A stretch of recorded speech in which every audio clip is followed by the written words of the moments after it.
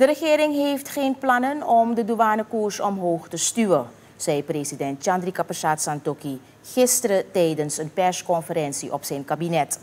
Het staatshoofd merkt op dat hij juist rust in de samenleving wil bewerkstelligen door de prijzen stabiel te houden. Ja, we hebben geen plannen om de douanekoers te gaan uh, verhogen. En uh, we kijken uit naar de verdere beheersing van de koers. Dat zijn inderdaad die twee zaken die op dit moment spelen in de samenleving. Koers en als gevolg daarvan, als, een van de gevolgen daarvan, prijs in de winkels. Als we deze zaak goed controleren, dan denk ik dat we weer een stukje rust in de samenleving brengen. En dat zal onze prioriteit zijn de komende dagen. Want als alle bedrijven conform het beleid van de regering die retentiebedrag gaan betalen, dan hebben we voldoende valuta.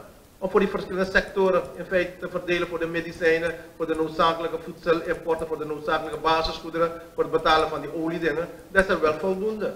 En die afspraken zijn gemaakt in het platform, maar niet iedereen houdt zich aan die afspraken. staat vandaag op de regering.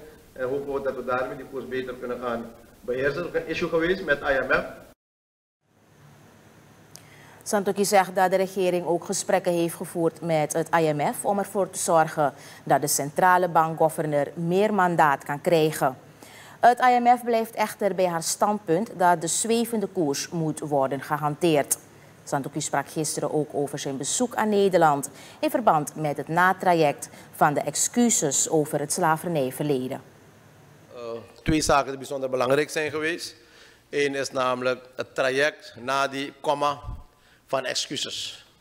En dat traject moet goed ontwikkeld worden over slavernijverleden. En de rode draad is daarbij geweest namelijk dat het traject in goed overleg met Suriname ontwikkeld zal moeten worden.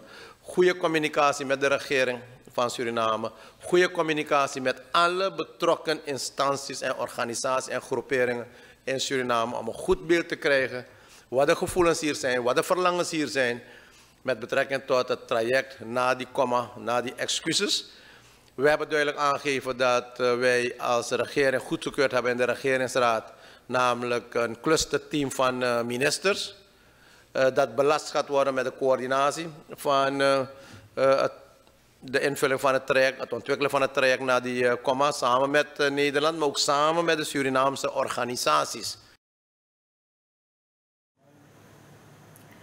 De president merkt verder op dat er hiernaast een platform zal komen waarin alle organisaties vertegenwoordigd zullen zijn. Er moet goed overleg plaatsvinden.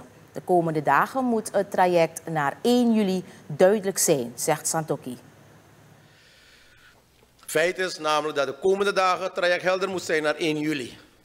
En ook helder moet zijn wat we gaan doen op 1 juli. En dat willen we allemaal samen doen met betrokkenheid. En mijn boodschap was duidelijk aan de premier Rutte. Hoor rekenen naar ajeje voor contradictie. Hoor rekenen naar ajeje voor alle den groepen. Want als je goed excuses wil aanbieden, dan moet je ook weten wat de jeje is. Voor alle groepen.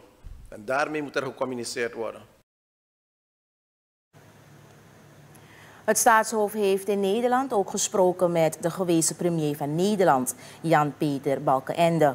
Onderwerpen van dat gesprek waren ondersteuning aan kleine en middelgrote ondernemingen en de duurzame ontwikkelingsdoelen, de SDG's.